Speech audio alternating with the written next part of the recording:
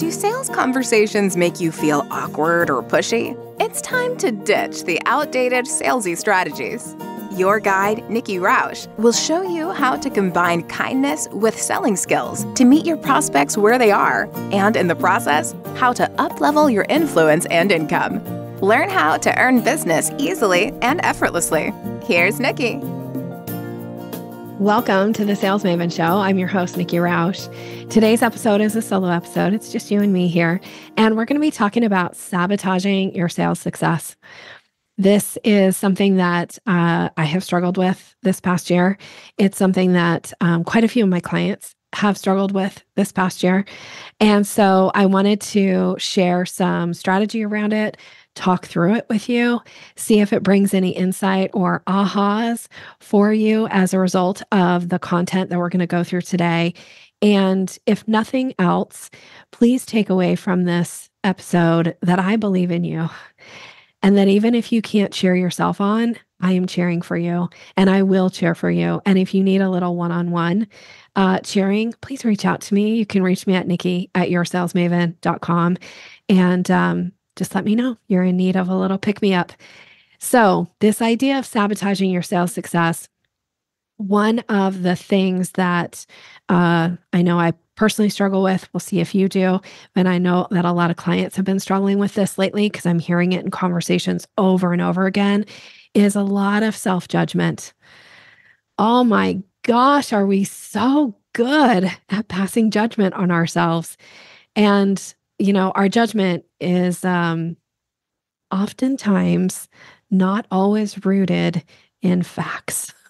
Sometimes it's rooted in how we feel. Sometimes it's rooted in other people's opinions. There's a lot of things that can influence the judgment that we have of ourselves.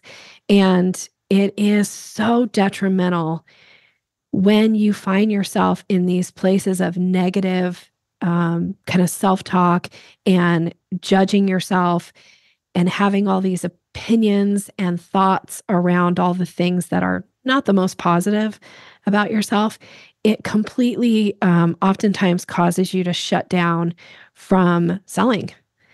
And that's not good for your business. And it's hard to sell your way out of when you're feeling like you're in this self sabotaging mode because there's so much self judgment going on. So, there's a few things that I want to just bring into the room with us today in case any of these are helpful to you. Um, I was really blessed to have a conversation earlier this week with a client um, and she was sharing some of these things that she was going through and asking for some insights and some suggestions around mindset.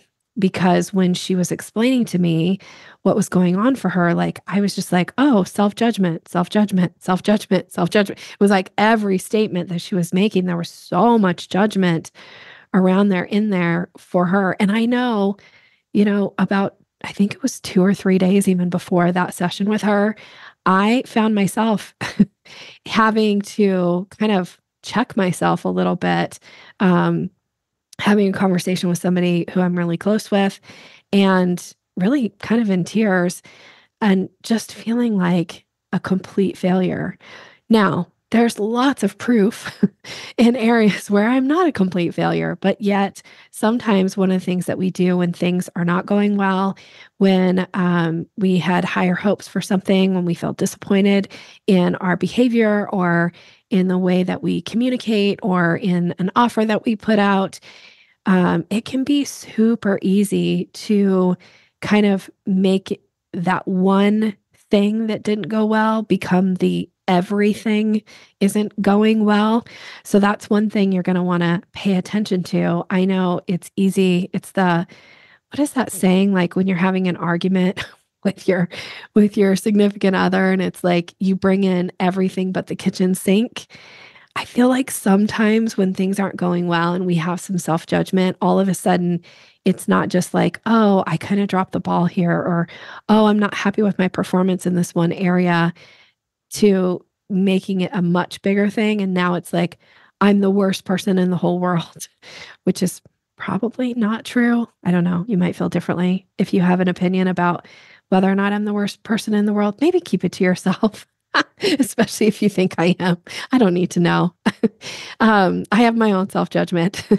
okay, so here's some of the things that I use to help get myself out of these sabotaging type um, situations so that I can continue to grow my business, so that I can continue to show up for my clients. Um, one of the things that I do is I always think back, and I've talked about some of this on the podcast before, and I certainly have talked about it in trainings before, is this idea of that your performance will be within a range. So if you think on a scale of like, you know, zero being like nothing, and then going all the way up on this scale, and 10 being like, like you're so on like you you couldn't make a misstep if you tried you're you're just like the best possible version of yourself in that moment would be like a 10. And unfortunately, it's unrealistic to think that in every situation um, throughout the day, all the interactions that you have in your business or um, sales copy that you write or offers that you put out, that you're always going to be at a 10. It's an unrealistic expectation. And yet, I find that myself included, and a lot of my clients tend to hold themselves to this standard of like, if I'm tired, if I'm sick, if I am sad, then I think if I'm not at a 10, I have failed. And when you can take a step back, and when I take a step back and go, well, really, if my performance will be within a range, my goal is to just try to be the best version of wherever I fall on that spectrum today. So sometimes when I'm not my best version, I'm usually like maybe a four out of a 10. And when I'm really on, like when I just feel like, man, things are really running smooth and they're cooking and I feel really confident, maybe I'm at an eight and a half. I don't know if I ever reach a nine. I definitely can't think of times, very many times in my life where I've said like, "Ooh, that was a that performance was a ten. like, you know, no no room for improvement there, Nikki. Um, I don't know about you. I hope you have lots of 10 examples in your life, or at least eight and a half. But when I'm at a four and I'm thinking my performance will be within a range, my goal typically is to get myself to like a four and a half. If I can really stretch myself, maybe I'd get to a five. But maybe four is really, truly all I've got to give that day. So I'm going to accept that my performance will be within a range and I'll just try to be the best four out of 10 that I can be today. So I was giving this advice to a client, like I said this week, and I was asking her because she's measuring everything to a 10. And I said, Well, what if you just each day or each situation, it could be each sales call that you're on or each email that you're going to write or, you know, hour by hour, just ask yourself, like, where do I fall on the spectrum today? Or right now in this moment. And maybe some days you're a six or some moments you're a six just try to be the best six you can be. And if you can get it to a six and a half, awesome. That's enough. And if you can get it to a seven, great. But expecting yourself to get from a six to a 10, it's a really big stretch. And you're being incredibly unfair to yourself, expecting yourself to rise to that kind of occasion. You probably wouldn't look at somebody who is, you know, sick or has been sick for months and expect them to show up and just be a 10, right? You would give them grace. There's no reason you shouldn't be able to give yourself this kind of grace. This last year, um, I've been somewhat vocal about this, but you know, as the honestly, the last 12 months have been some of the hardest of my adult life personally. And there are days where I can honestly say in the in the year of 2023, I probably worked the last the least amount that I've ever worked. Um, because my performance is within a range. And there are some days where I could get myself to like a five or a six for that session with a client. And then at the end of that session, I had nothing left to give. So I, unless I had client work of client expectations, there were a lot of things that didn't get done this last year. And there were times where I thought my business would just completely crumble. And luckily, I had some really strong supports around me. One in particular is my CFO, uh, Michelle Cooper. And Michelle and I had many a meetings over the last couple years, honestly, where not that I expect to do this very often, but I think I cried through a lot of our sessions. And we were talking about, you know, we are supposed to be talking about money. Michelle has become a very close friend too. So she's been a great confidant. Uh, so we weren't always just talking business, but there were times where I was really struggling just to even get through some of our just our normal monthly session. And um, she said something to me at one point, and I wrote it down on a sticky note. And now, for the life of me, I can't find it. So I'm not sure what I did with it because it was on my computer for a long time. But she said to me, You know, the only problem you really have is thinking that the way you're feeling right now is a problem. And I was like, Oh, yeah. And that kind of goes back to what I'm talking about today is this idea of all of this self judgment. I was embarrassed to be crying in a business meeting. You know, I was embarrassed to have to say that I was struggling so much. Um, and and just say like I just am not even prepared sometimes to have these conversations because I'm so emotional. Uh, one of the things I learned in all my years of studying neurolinguistic programming, um, there were a lot of tears. Not in the first year of study, but in the second year, I decided like I was just going to let it all hang out and I wasn't going to hold anything back. I cried through most of that training too, because there was so much deep work that was happening and so much healing that was happening. Um, and my NLP teacher, who also was really quick, uh, tears were quick to come for her. Tears have always been quick to come for me. And she said, it's emotional currency tears. Think of them as emotional currency. And I thought, man, I am rich in emotional currency because tears come easy. And sometimes they're very hard to hold back. So, this idea of performance will be within a range. Sometimes my only problem is thinking that the way I'm feeling is a problem.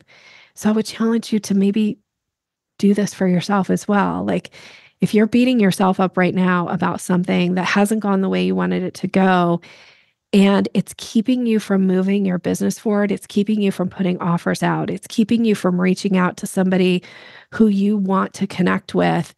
Any of those things that are holding you back, this is where you're sabotaging your sales. And is it because of self judgment? And if it is, what can you do to overcome it? Here's the other thing I would think about um, is I find that this idea of your performance will be within a range. It also goes back to my years of studying neurolinguistic programming, where we found that most of the time when we were stuck is we're in what's known as digital thinking. There's digital thinking. Digital thinking is yes, no, black, white, true, false, love, hate. It's like you only have two options, you know, yes or no. The lights, think about it like a light switch. The light switch is either on or it's off. And that is digital thinking. And you can get stuck there. And then there's analog thinking, which is the different type of light switch where you can click click it up once and it gets a little brighter and click it again, a little bit brighter, click it again, a little bit brighter, click it again. You know, and you can like really turn it up where it's like, oh, full brightness, right? Uh, those are also known as the dimmer switch, right? In uh, when you think about switches, but that's where freedom lies. So when I'm talking about this idea of your performance will be within a range, think about the dimmer switch is like the lights are still on.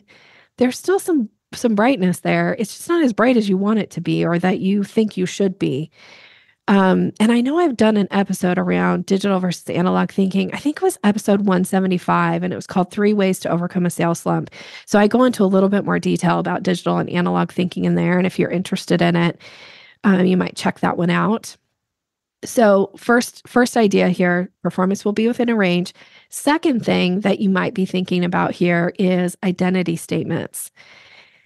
And I was hearing these obviously myself people were pointing them out to me my good friend michelle was helping me to see that i was making a lot of identity statements when i was struggling and i was hearing these in a conversation that i had with a client this week um, and and with other clients too but this week too i was just hearing a lot of like like i don't i don't feel i don't feel like i am um like ready or i don't think I'm at my best or I don't uh, I'm trying to think of some of the others. I'll, I'll just use my own. Oftentimes, it's like I don't feel like I'm good enough, right? I don't feel like I'm that I matter or that my problems matter. So, therefore, I need to like get over it. But those kind of identity statements are like, it's like you're wrapping it all around you. And that can be so sabotaging. There's so much judgment around it. And I had offered to my client this week of like, instead of making identity statements, what if we started talking about the situation? So it's something outside of you, not attached to you, not about you as a person, you as a being, because I will say you are lovable, you are worthy, you deserve really amazing, wonderful things for no other reason than the fact that you are here and you're walking this earth. So you are worthy. So when things are going wrong and you can get get it from a situation standpoint and not make it an identity statement and make it something outside of you.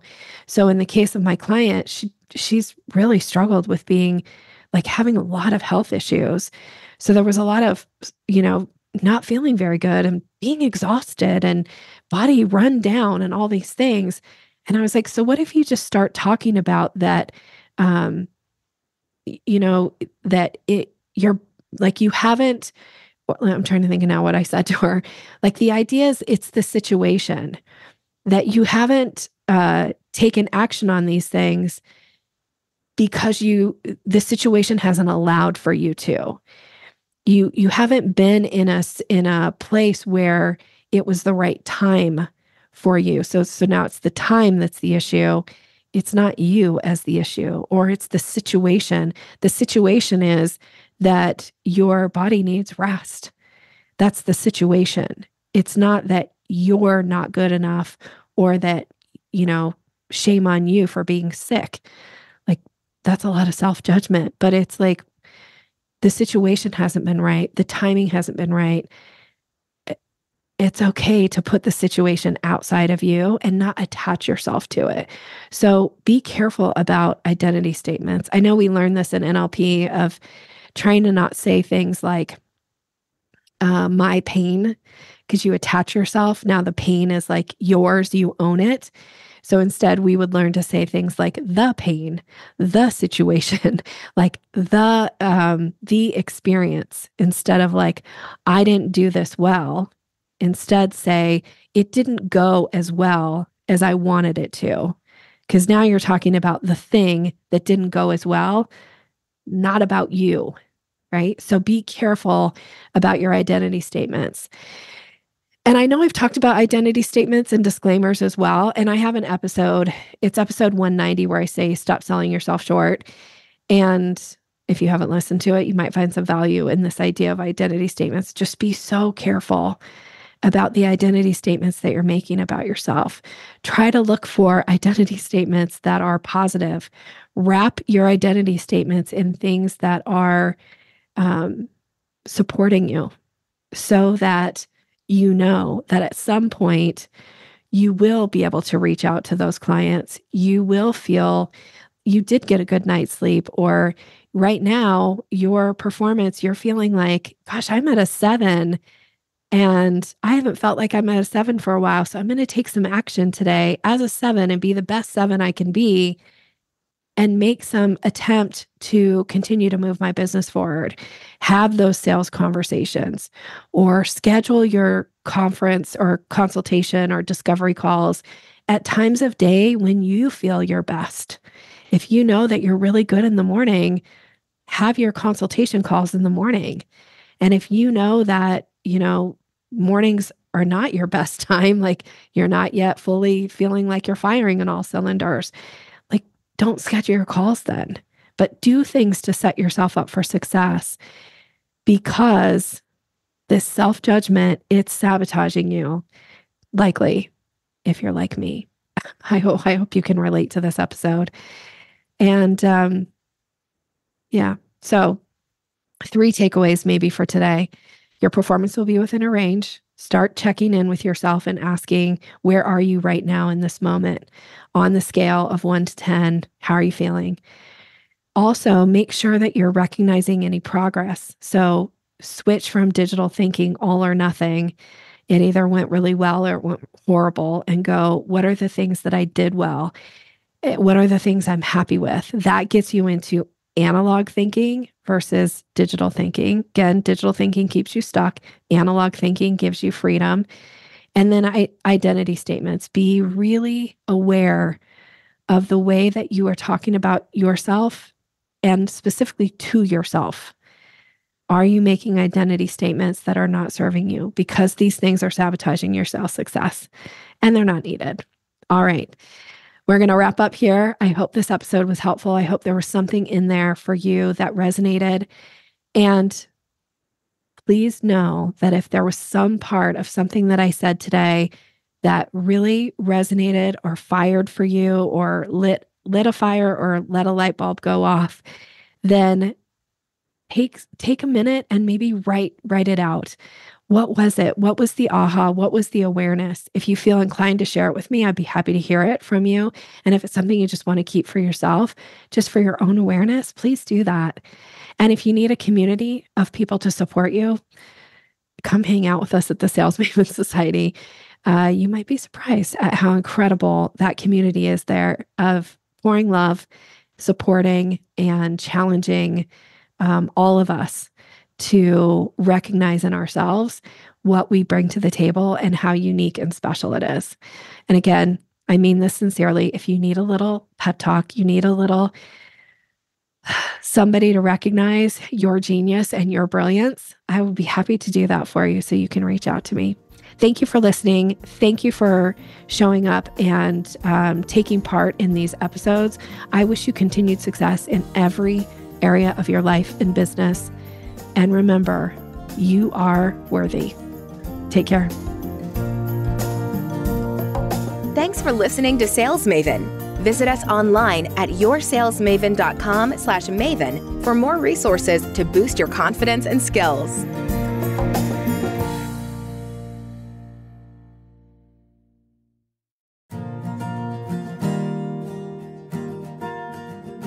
Are you ready to increase your confidence in your sales conversations? I have a gift for you that is going to show you exactly how to do that. It is my Closing the Sale ebook. It's all about leveling up your confidence, giving you language to use, how to seamlessly move somebody through the sales process. And you can get it right now by going to yoursalesmaven.com forward slash maven. Go grab it.